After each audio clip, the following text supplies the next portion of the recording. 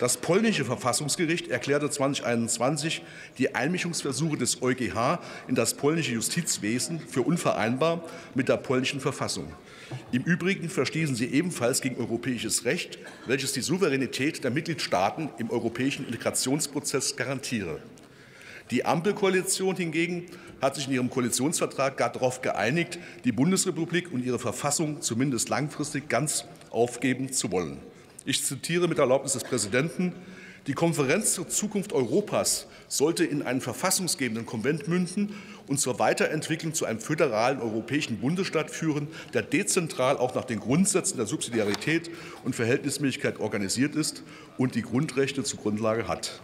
Meine Damen und Herren, wo ist der Verfassungsschutz, wenn man ihn wirklich braucht? Solche Bestrebungen, wie die Ampelkoalition sie offenbar verfolgt, sind natürlich verfassungswidrig und sie sind auch vom Souverän, dem deutschen Volk, nicht gewollt. Auch alle anderen Völker lehnen diesen EU-Staat rundweg ab, so zum Beispiel die Völker in Skandinavien. Das ist doch kein Wunder, so wie die EU sich mittlerweile aufführt. Sie wird immer übergriffiger und mischt sich immer häufiger bis in die kleinsten Lebensbereiche ihrer Bürger ein, die sie eigentlich gar nichts angehen.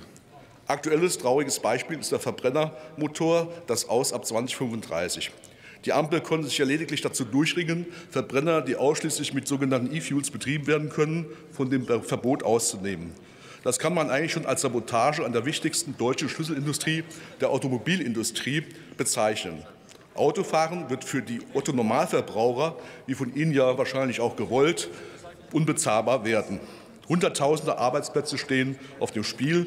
Als Saarländer Herr Freihändler noch gleich, kann ich Ihnen hiervon ein Lied singen. Die Schließung des Fortwerks in Saarlouis ist ja bereits beschlossen, die Zukunft ungewiss.